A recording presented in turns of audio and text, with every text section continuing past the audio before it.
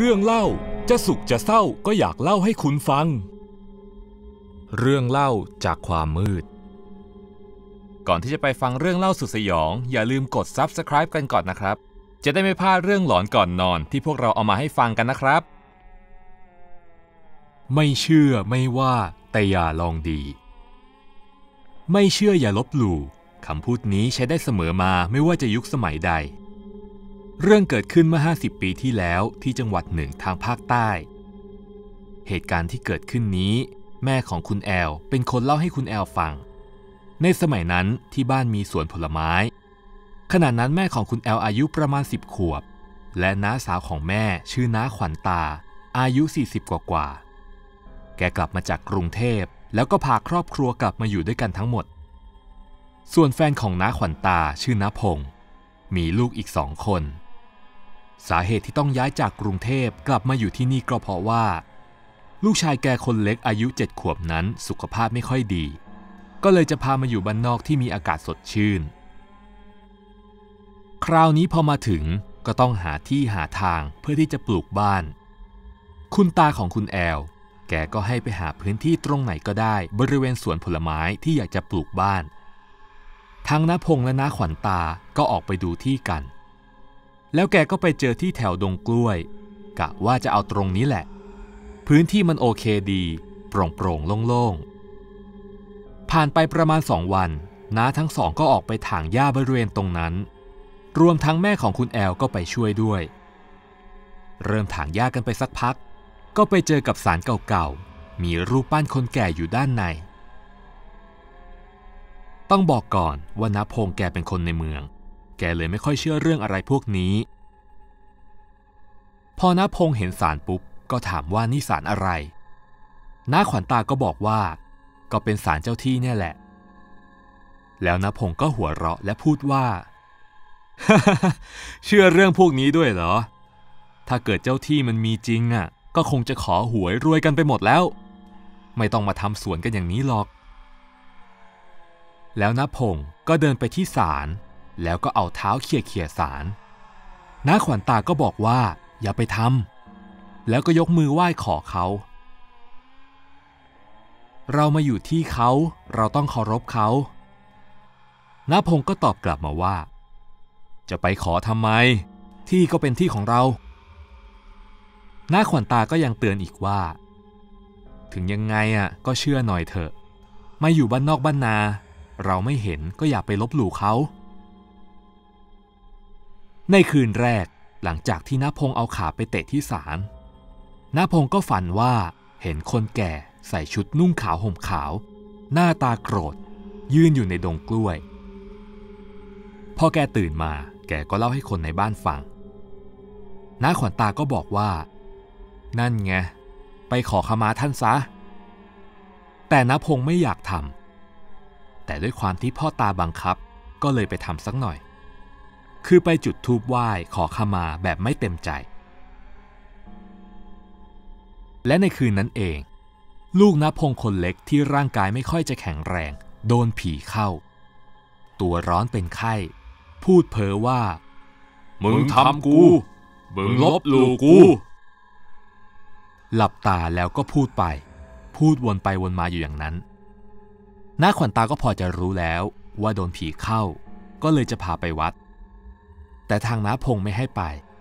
บอกว่าลูกแค่เป็นไข้เพ้อ จะพาไปหาพระทำไม ให้ไปหาอนามัยแทน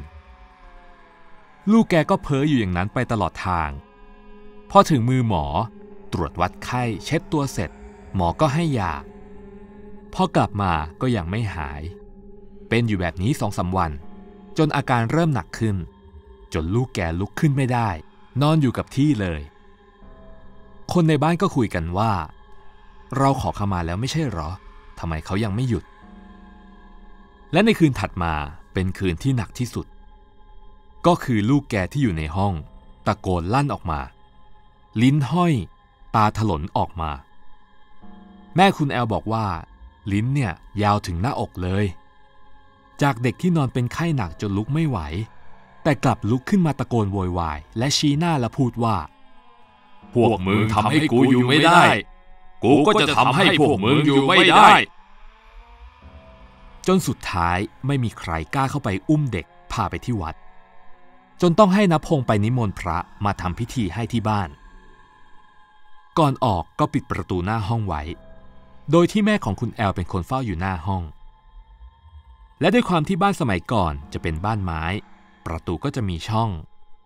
โดยความที่ยังเป็นเด็ก แม่ของคุณแอลก็อยากรู้ว่า ลูกของนพงศ์จะเป็นยังไง เลยมองลอดผ่านช่องเข้าไป สิ่งที่แม่คุณแอลเห็นก็คือ เด็กคนนี้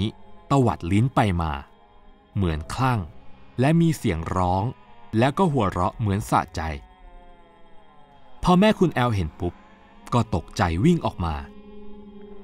แม่ไม่กล้าเฝ้าที่หน้าห้องแล้ว ระหว่างที่วิ่งออกมานั้นก็มีเสียงออกมาจากในห้อง มึงไม่ต้องนิมนต์พระมาหรอก ลูกมึงอะตายไปละ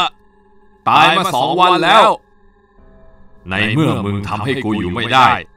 กูก็จะทำให้มึงอยู่ไม่ได้ พอพระมาถึงบ้านก็เตรียมทำพิธีสวดมนต์ พอพระเริ่มสวด เด็กคนนั้นก็เริ่มสงบลง แล้วจู่ๆก็หัวเราะออกมา แล้วก็หงายท้องลงไป แป๊บเดียวเท่านั้นแหละ มีกลิ่นเหม็นลอยออกมา สรุปว่าเด็กคนนั้นตายแล้วจริงๆ พอทำพิธีศพของลูกนพงเสร็จนพงก็เล่าเรื่องทั้งหมดให้ฟังด้วยความเสียใจว่า วันที่ไปขอขมานั้น พอแกจุดธูปทำพิธีขอขมาเสร็จ แล้วก็แยกย้ายกันนพงแกก็วนกลับมาคนเดียว แล้วแกก็ทำเรื่องที่ไม่น่าทำมากที่สุด คือพูดจาท้าทาย ด้วยความที่แกไม่เชื่อเลยพูดท้าไปว่า เฮ้ย เมื่อคืนเข้าฝันกูเหรอ แน่จริงอะคืนนี้มึงมาอีกนะ พูดจบ แกก็ฉี่ใส่สาร แล้วในคืนนั้น ลูกแกก็ไม่สบาย แล้วเพ้อจนต้องไปอนามัย อีกวันถัดมาด้วยความที่นพงศ์เขาไม่เชื่ออีก แกก็ไปที่ศาลพร้อมกับถือขวานไปด้วย แล้วนพงศ์ก็พังศาลด้วยขวานที่เขาเอาไป แล้วตะโกนไปว่า มึงทำลูกกูเหรอ ถ้ามึงไม่หยุด กูจะเอามึงหนักกว่านี้แน่ ถ้ากูอยู่ไม่ได้ มึงก็อยู่ไม่ได้ แล้วก็พังสารกระจุยกระจาย คืนนั่นเองที่ลูกของแกเสียชีวิต หลังจากนั้นที่บ้านก็เลยไปสร้างศาลให้ใหม่ แต่ว่าต้องให้นพงษ์นั้นกลับกรุงเทพไปก่อน เพราะมีชาวบ้านแถวนั้นบอกว่า มีคนเห็นตาแก่คนหนึ่งมายืนอยู่หน้าบ้านทุกวัน เหมือนว่ายังไงก็ไม่ยอม ยังไงก็จะทำให้อยู่ไม่ได้ สุดท้ายนพงศ์ก็ต้องกลับกรุงเทพทันที แล้วพอไปถึงกรุงเทพหลังจากนั้นไม่นาน จากที่นพงศ์เป็นคนแข็งแรง ก็กลับกลายเป็นคนอ่อนแอไม่มีเรี่ยวแรงไปซะเฉยๆทำอะไรไม่ได้